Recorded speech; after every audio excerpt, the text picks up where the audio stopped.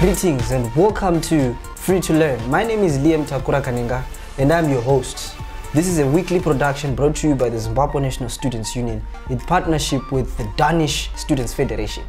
Today's topical discussion is eco-politics as an approach to politics and we'll unpack its link with academic freedom. To discuss this, I'm joined by a national students leader, the president of the Zimbabwe National Students Union, former SRC president of Great Zimbabwe University, youth chairperson of Crisis in Zimbabwe Coalition, Takudzwa Godfrey Ngadziore. Taku, welcome to the show. Thank you very much for hosting me. Okay, Taku, so without further ado, mm. we dash into today's business. Can you unpack to us what is eco-politics in line with ZINASU's perspective? Thank you very much. Eco-politics, like you have mentioned, it's a political concept or ideology which is based or premised on making sure that we have an ecologically sustainable society, which is of course anchored on the theories or concepts of socialism, the concept of non-violent, feminism, the concepts of pacifism, example, and it speaks through to democracy, grassroots democracy, and also the concepts of um, inclusivity.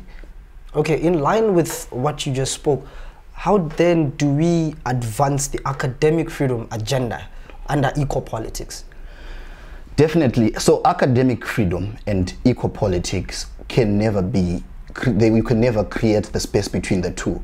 Academic freedom is a, is a value which has its own cogs or pillars, which include uh, the social responsibility, the institutional autonomy, which also includes accountability, transparency. These are already vital critical pillars within democracy as a concept. So when you're talking about academic freedom, the way that the Zimbabwe National Students Union views it with its vision to further or promote uh, democracy and also uphold, uphold uh, academic freedom. We are talking about the rights of the students being respected. We are talking about the relationship between the students and the environment being safe, being non-violent, and also being peaceful so that whatever they do to further the cause for accessible and affordable education within the Section 75 right of the Zimbabwean Constitution is upheld and promoted. Okay, so one thing we also want to know, you spoke about issues to do with uh, socialism. So we want to know then where does eco-politics stand and where does academic freedom stand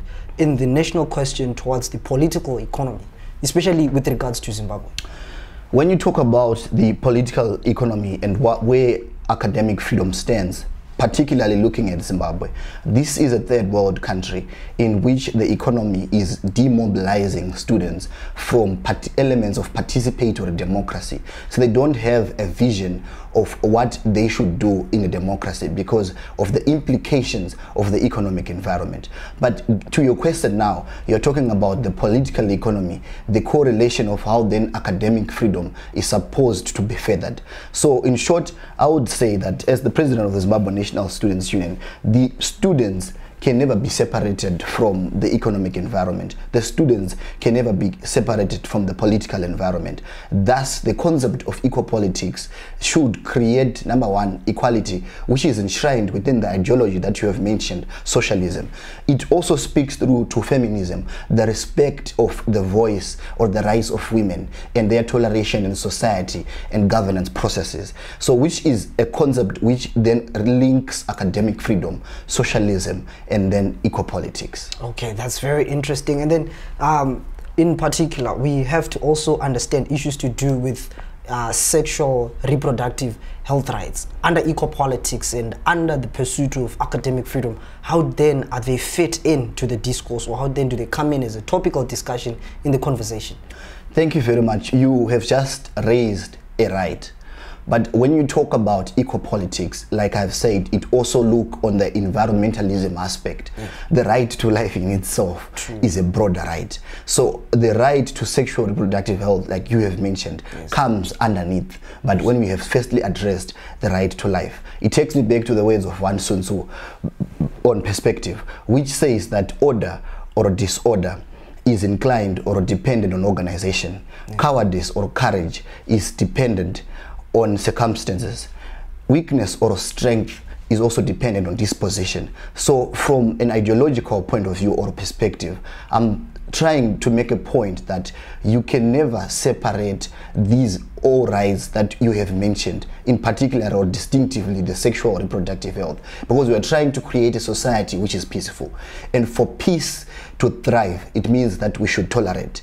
And for us to tolerate, it simply means that we should not abuse. It simply means that we should respect human existence and crimes against humanity, which are being perpetrated in our contemporary society, should be shunned, should be debunked, and should also be castigated. So we are already giving an environment which is accommodative and conducive for human rights violations not to occur. So number one, the right to life we have mentioned, the sexual reproductive, the, the sexual rights that you have articulated, that people should be respected. And students being part of um, that integral part of stakeholders of society simply means that they do deserve that right and they need to be respected. Okay, um, then on another level, Taku, one thing that we also seek to understand uh, in regards to what you have just spoken like it's a plethora of issues that a lot of people want to dissect. And to put it into simple terms we also have particular interest in, in, in, in regards to issues in terms of like you spoke of non-violence and you spoke of issues to do with um, fighting abuse. So we want to know what's your path of persuasion as the union in making sure that you explore all avenues in every social movement, the number one or initial stage is the conceptualization of issue. So when you say, what's your path as the Zimbabwe National Students Union, I would state that it is to create an environment necessary for academic freedom to thrive, yeah. which then makes it a broader issue. Where we are tackling it from is the eco-politics that we have talked to. Yes. Eco-politics, which is coming down with the pillars of environmentalism, of equality, the pillars of inclusivity, participatory democracy, in which students should be there to question the governors in order for there to be a social contract, in which students should be there to offer an alternative to any problem solution. Because in the David Easton's theory in 1953, 1958, he speaks about the political systems theory, which gets the supports and demands from the environment. And students are critical in that political systems theory. So in answering the question that you have said, critically as a union, as the Zimbabwe National Students Union, we need to make sure that we respond to the needs and wants of a student. In my general view, from he or she wakes up to he or she when she sleeps. Okay. When you are sleeping, when you wake up, in general, what are the issues that you face? There's no electricity, there's no food. Eco-politics speaks to us to say we should respond. It speaks to us to say we should engage the government. We have done so as the Zimbabwe National Students Union. It speaks to us that we should engage in the registration of this content through the peaceful means. We have done so as the Zimbabwe National Students Union. We have also advocated for an environment in which human rights are respected by offering solidarity to number one, the justice for Tawanda Muchehiwa. We have engaged because you can't also separate uh, the international outlook of the eco, the eco politics. So in all this, that's the perspective of the Zimbabwe National Students Union. Whilst we fight for education to be affordable and accessible, we also need to make sure that we promote the number one right for academic freedom. Okay. Uh, you spoke of um, registering, action, like action in registering. So I want to know what avenues have you pursued so far in advancing an eco-politics uh, based approach to academic freedom? Number one, constructive criticism. We have been there as a union to offer an intellectually thoughtful or organic intellectual thought aside from what the state might be saying. We have never been there to offer violence. We have never been there to follow blind party sloganeering. We have always been there in society to speak to issues to speak to in the intellectual discourse, to give alternatives. When e-learning was coming, the Zimbabwe National Students Union came with proposals to the Ministry of Higher and Tertiary Education. That is eco-politics. It speaks through to participatory democracy. Mm, just we to interject you on that, would you mind getting uh, into detail a bit, just a bit of your proposals, of the union's proposals onto e-learning and how they then related to eco-politics? April 15, then 17, we went with a letter to the Minister of Higher and Tertiary Education, Professor Amon Murwira. It had three solutions to e-learning, which can then be furthered on by another paper that we wrote to him as a follow-up. Number one, it is that the Minister should engage mobile network operators in Zimbabwe. Why? Because we are seeking for the establishment of an affordable uh, data bundle which should be created for students because we know that there are issues pertaining to the exorbitant data charges. But let's create an environment in which students can learn where there is COVID-19, a global pandem pandemic, which we understand. We also seek that um, domains, uh, student portals can be accessible at a zero rate we all know that uh, each and every university in Zimbabwe works online because of the COVID-19 uh, coronavirus pandemic which then came. But we're saying at least the um, student domains which are there in what anyone would call a portal should be accessible at a zero rate. When you open your portal, let there be reading material which you can access at a zero rate. Let there be course outlines which you can access at a zero rate. We also were there as the Zimbabwe National Students Union to say the government should make sure that they uh, set aside an allocation on the national budget which was uttered by one Professor Mthuli for education to respond to the issues of the accessibility of digital devices. Those who are in the remote areas of Zimbabwe where there is no network, are they getting uh, digital devices? That's the responsibility of the government as the parent of any student and without neglecting how education is of critical importance to the development of this nation and its transformative agenda which it wants to embark on.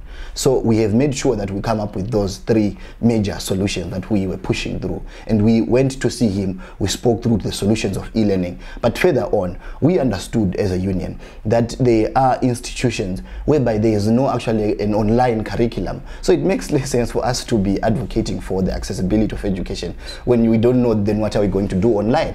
True. to talk about the affordability of it when we don't know what are we going to do online. So there needs to there needs to be a research which is made by the lecturers and the government should fund for that so that lecturers know what they're going to do online. It's not an agenda of just sharing notes online, read ABCD. The online curriculum on its own needs to be developed. And those are issues that we went on further to discuss in another document which we then sent on the 17th of April. Okay, so in line of that, have you secured any successes so far that we can note? Definitely, we have. Um, we have seen uh, members of uh, the private sector coming in with e-learning bundles. Yes. Uh, the Econet, uh, the Liquizone, uh, the Zoos, they have tried all they can to make sure that there be an affordable bundle for the students to learn, mm -hmm. regardless of how the state did not respond to the accessibility of digital devices because it then makes less sense to say you they have paid for um, the device but you don't have something to use. You don't have uh, the data bundle. So all this is to give sense to the victories that we came up with institutions came up with mobile tuition in which uh, in, at some institution people were being given data bundles. That was a victory on the side of uh, the union itself. And also being there as an alternative, like I have said, linking to the aspect of eco-politics, just registering an alternative intellectual voice on its own is a victory to the union. Because this is a students' movement and it's a hub of ideas. Because barometers of class consciousness should always be there to cross-pollinate and dissect these ideas. If they are not those ideas, then it's a failure. So the victory starts from the registration of these intellectually thought solutions. Then, of course, to the materialization of what we are seeking to attain as a union, which was the number one, the bundles that we have talked about, uh, the devices, the chipping in of the church, uh, the chipping in of the ministry. We have had the, the Minister of Youth uh, buying 50 digital devices. Of course, at a population of around 17,000 plus. One will wonder how reasonable it is. Yeah, but of, rationale. Yeah, the rationale. But we always then tend to appreciate that gesture. Yes. So to us, it's a victory because society got enlightened to the extent that they put a responsibility to act upon themselves, to respond to e-learning. Wow, so literally the union records a success out of the fact that it set the agenda and is what Obert Masaraure says that the union is the natural leadership of the masses in Zimbabwe. Definitely. So definitely by agenda setting. Then in close point, what do you recommend must be done in the long run, especially under the verge of COVID-19 in Zimbabwe, is premised with uh, eco-politics and promoting academic freedom? Thank you very much. That's a very broad question, but yes. I will try to respond to it from my own perspective. Yes. I do think what should be done in the long run this is a question which seeks my voice to make sense in posterity. Yes. And as academic freedom fighters, who always believe that we should also talk to the future. And in response to the question that you have said, we should make sure that the government, number one, in response to the education sector, should invest much. We also need the government to realize that the allocations of the funds to the securocrats, to the military, when Zimbabwe is not at war, is senseless. They need to invest to education. They need to make sure that the money that they are putting to um, militarize the state, where you find soldiers in the streets, where you find riot police everywhere, they need to place that money to fund education because education will respond to the development of this nation in front. So in short, I'm saying the most and critical point that the Zimbabwean youths, students in particular, need is the creation of a conducive and accommodative environment. In their dreams can materialize something, can materialize whatever they need. So by that, we're meaning that the government should not criminalize student activism. The weaponization of the state apparatus against dissenting voices. The government thirst or quest of shrinking the democratic space, they should lose that test itself. The government should invest much in promoting the rights. The government should invest much in upholding peace, which speaks to eco-politics. The government should also not talk about uh, pacifism, that speaks to the budgetary allocations that I've talked to to say no, they can't be sending money to the much double or treble the amount they send to education to the military when Zimbabwe is not at war. True. We are also speaking through to say we need on ourselves because the responsibility is not only on the government. On ourselves, we need to make sure that no matter how repressive the environment can be, we should never be silent. We should always voice out because it is the registration of that discontent that will get the generational baton stick to rally, to move from one person to the another, from one generation to another. So this is a process, like you have said, it does not materialize in one day. The democratic, the democratization of Zimbabwe is an agenda to which even those who liberated this country managed to renege from its values and ethos. But we need always to be on the path of the oppressed. The oppressors speak the language of resistance. The oppressors speak the language of tolerance. The, the oppressed uh, speak the language of accountability. The oppressed speak the language of transparency. So the union should be there to push for such agendas where they say we are fighting for these necessary pillars around democracy, around participatory democracy, inclusivity, around the constitutional democracy. What is the voice that the union is sending when the constitution is about to be mutilated right now? When the constitution is about to be thrown away, to be destroyed in the face of a democratic country. So the question you give is critical in the sense that it links eco-politics, which talks about that democracy which the union believes in, which talks about academic freedom from an institutional point of view, because institutions exist in, from a national discourse. But also there are points when students from campus should also have um, an enlightenment perspective around how to demand for uh, the fee structures how are the allocations being put through. We have students who are on attachment who are paying for security when they're not even on campuses. True. We have students who are on attachment who are, who are on attachment who are paying for transport when they're actually struggling to get transport to the work-related learning companies, organizations, or sectors where they are working from. So all these questions need to be answered from an institutional perspective. The right to say an institution has offered a position, but the Student Representative Council, the students in their very own nature, should also offer an alternative. When an institution says we are building this, how is it benefit, how is it benefiting the students at large? So these are questions where the students should always be there to respond to. And the students, like I've said, it's upon their rights to speak to the life of any student from when that student is sleeping to when that student is waking up. So it talks about the broader aspect of social justice, the broader aspect of academic freedom, the broader aspect of the democratic agenda. And that responds to then the question which links eco-politics, academic freedom, and the democratic aspects that you have said. Okay, uh, thank you very much, Taku. That was very insightful and quite clear in terms of how best eco-politics serves the agenda of academic freedom as well as unpacking its nuances. Viewers, this is Free to Learn. My name is Liam Kanenga. I'm your host. See you next time.